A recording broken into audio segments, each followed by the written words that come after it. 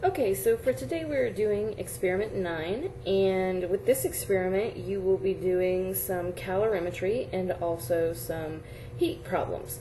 So one of the important things that you have to be able to do is both heat calculations and calorimetry, meaning delta H calculations.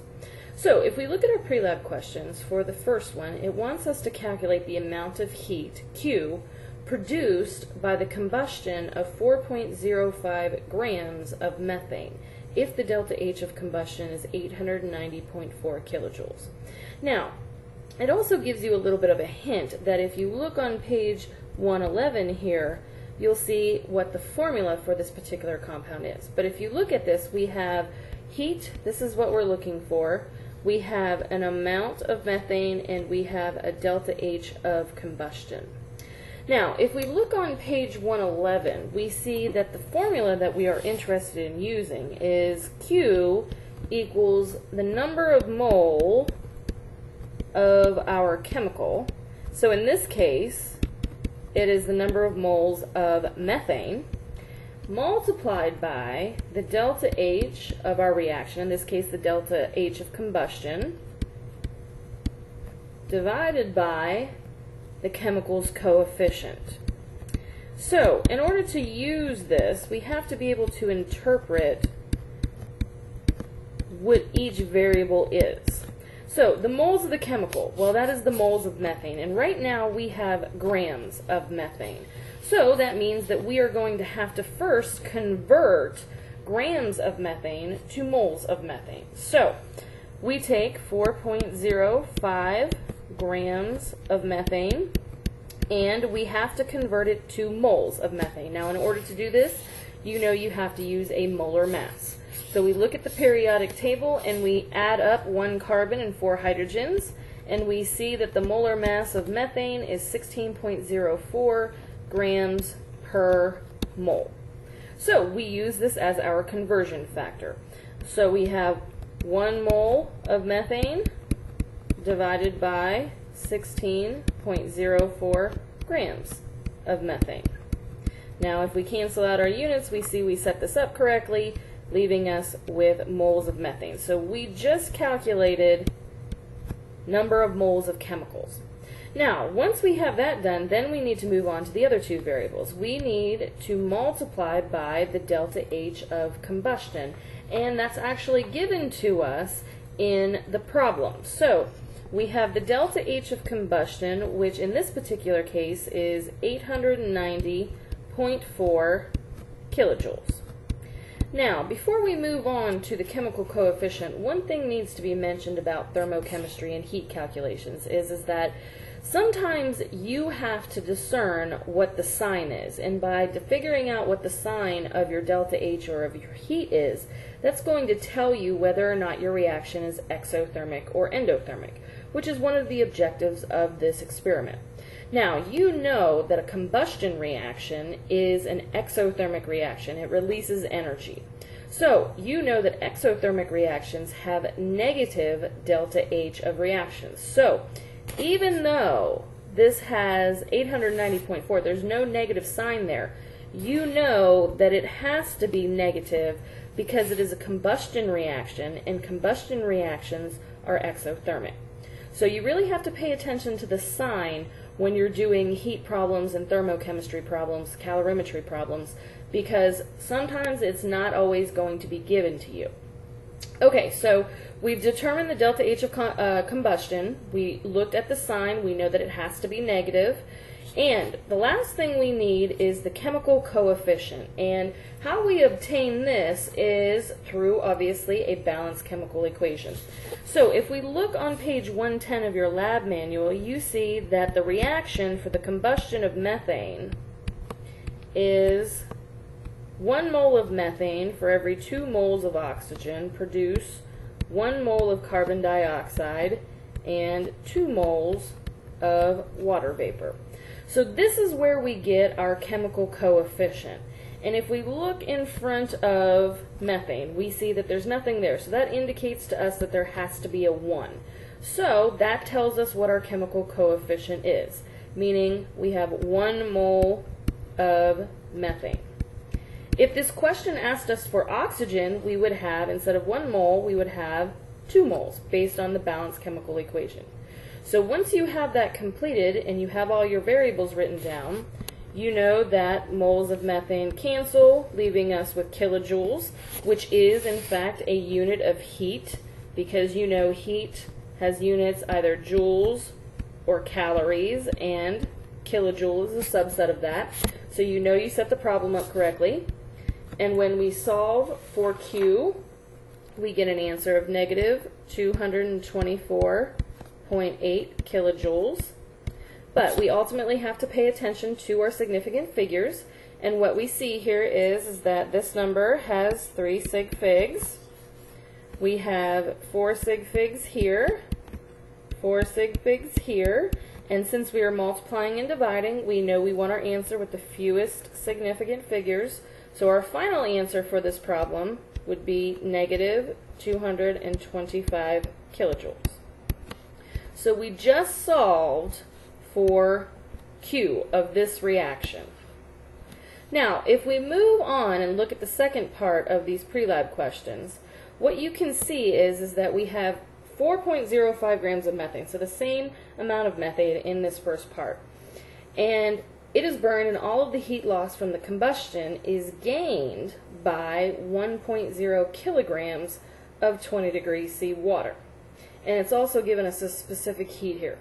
And the question is asking, what would be the final temperature of the water?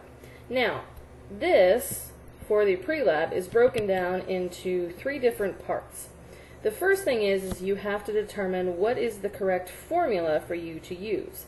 Now, you're given a mass, you're given an initial temperature, so we have a mass here, we have an initial temperature, we have Q from the first part of the experiment, and we also have a specific heat. So the best uh, formula for this in order to determine the final temperature would be Q equals mc delta t.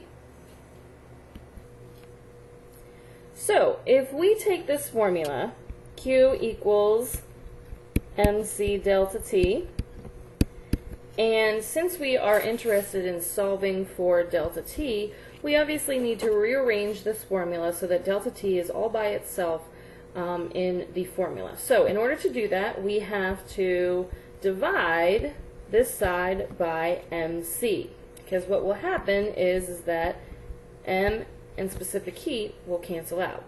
Now, if we do this on one side, we also have to do it on another. So what this leaves us with is the change in temperature is equal to the heat over the mass times the specific heat. Now, that we've rearranged our uh, formula in order to solve for delta T, we need to plug in our values for Q, M, and the specific heat. So if we look, we have Q, which we solved in the first problem. So we know that Q was negative 224.8 kilojoules. And remember, we want to use the unrounded number so as not to introduce more error into our answer.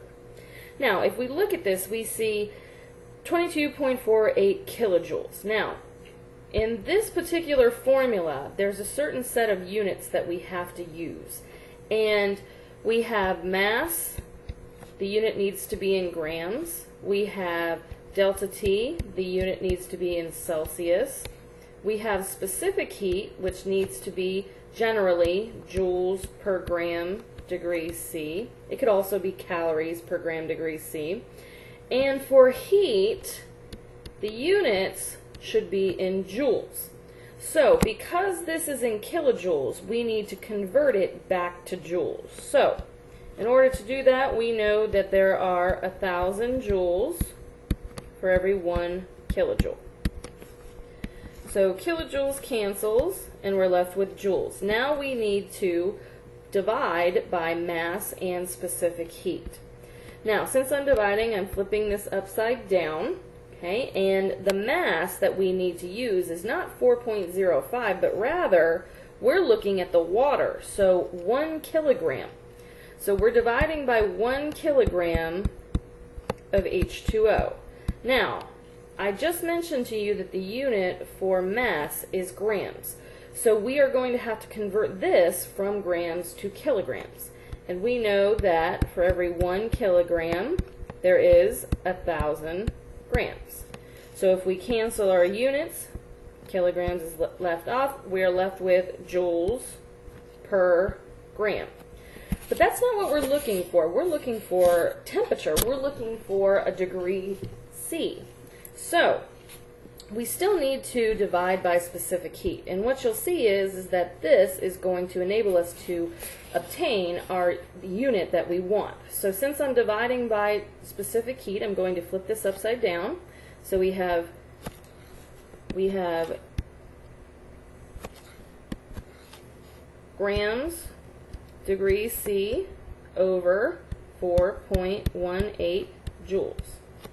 So what we see is, is that joules cancels out, grams cancels out, leaving us with degrees C, which is a unit of temperature. So when we solve for this problem, we have a we get an answer of 53.77 degrees Celsius. But we have to pay attention to our significant figures, and if we go through and look, we see that we have, although we use four numbers, only three of them are significant. Here we have two sig figs, and here we have three sig figs. So because we are multiplying and dividing, we know we want the fewest, so our final answer can only have four, two significant figures. Now, this enabled us to determine delta t. This is the answer for delta t. It, however, is not the answer for the final temperature. So we have to solve for the final temperature, and you know that delta t is equal to t final minus t initial. Now we have the change in temperature. We also have a, the initial temperature of 20 degrees C. So we can rearrange this formula to solve for the final temperature. So when we do that, we have delta T plus the initial temperature is going to be equal to the final temperature. So this is an addition problem. So we know we have to line up our decimal places. And again, make sure that you remember that you have to use the original number. And we have 20 degrees decimal places after the zero. We add this up. We draw a line where we have the fewest digits past the decimal place. We do our addition, which would be 73.77 degrees Celsius. So we know that only these two numbers are significant, and when we round, we end up with a final temperature of 74 degrees Celsius.